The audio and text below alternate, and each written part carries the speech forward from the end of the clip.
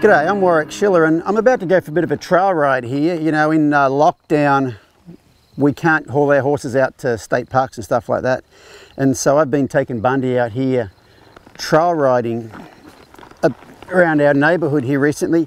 And so what I thought I'd talk about today is common problems that people have when they're trail riding. And usually those problems are horses rushing home or horses refusing, you know, stopping, rearing up, wanting to spin, wanting to turn around, run home, won't go forward. All those things when you're out trail riding. And so I'm going to show you a way you can go about teaching horses how to trail ride. So this is not trail riding, this is teaching them how to trail ride um, without going beyond threshold. Because when those horses are wanting to rush home like that, or those horses are stopping, rearing up, all those sorts of things, you're over their threshold of what they can handle. And so what you can do, and I don't know if you've noticed, but I'm doing it already, is this is a version of something that I've used for a long time I call the 50 foot trail ride. But you might notice I started here in my trail ride and I went for a bit of a walk. And I was talking to you guys and I didn't get terribly far in my trail ride my horse hasn't decided to go home yet. And then what did I do? I turned around and went home. And, and the thing that horses do when they, they want to go home in the trail ride is they're thinking, I'm just getting too far from home. They're getting further and further away, further and further away from the place that they're comfortable. And so what you can do is just start out, go, you know, like I said, I sometimes call this the 50 foot trail ride even though it's a different version of what I used to do for the 50 foot ride. So I went about 50 feet the first time. The second time I went about 60 feet. The third time I'm going to go about 70 feet and I'll turn around and go back home again. And what you'll find is the further you go out, the less you'll have to, initially you'll have to turn back a lot to stay under threshold. But when they start to get to where they are pretty sure, hey, anytime I'm going to get to go back home anyway, they don't, they don't start to get all concerned about it.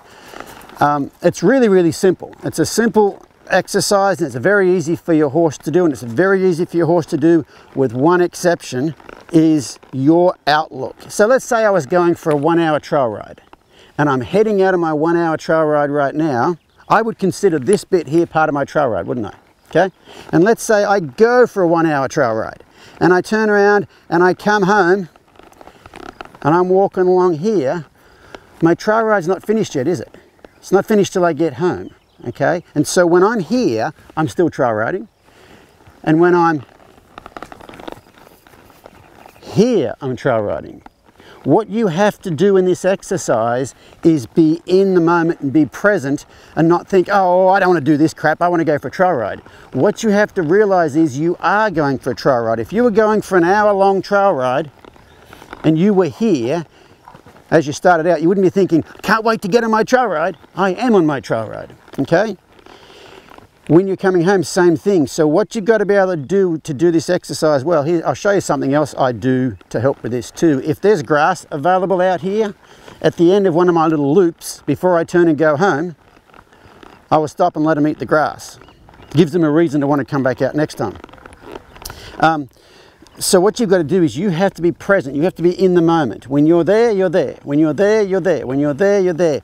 Not, oh, well, this is not a trail ride unless I get to the top of that hill because otherwise you will tend to have some frustration. Your energy will be completely different. You'll be like, I just want to get this out of the way so I can go for a trail ride.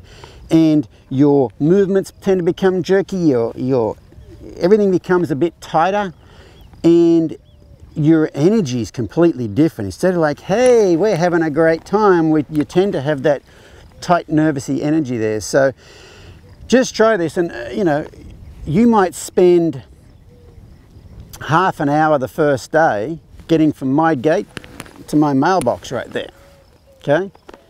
But then the second day, it might take you five minutes to get there and 20 minutes to get up there, but pretty soon you'll be able to go go out and back and it won't be a big deal. But the big thing is, if your horse is rushing home, jigging, prancing, doing all those things, if your horse is freezing, napping, what they call it in certain places, and doesn't want to go out there, you, you've gone over your horse's threshold. And recently I've been talking about good leaders only ask yes questions. If you ask your horse to do something he can't do and you're going to know, that erodes their confidence in you. And doing this right here gives your horse a lot of confidence in you and also gives your horse a lot of confidence that I'm going to be able to get to go back home quite soon. So if you're out trail riding or if you have any trail riding issues, um, give this little exercise a try.